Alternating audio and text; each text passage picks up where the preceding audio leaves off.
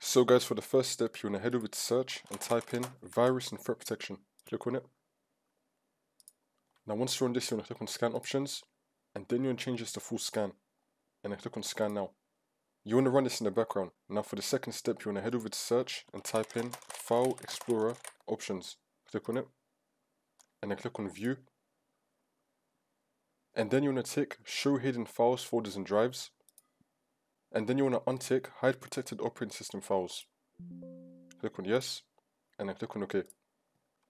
Now for the next step, you want to head over to search and type in registry editor. Click on it, and then click on yes. Now once you're on this, you can follow everything I'll be doing up here. So first we're going to expand HK local machine, then you want to expand software, then you want to expand Microsoft, then you want to scroll down and expand Windows.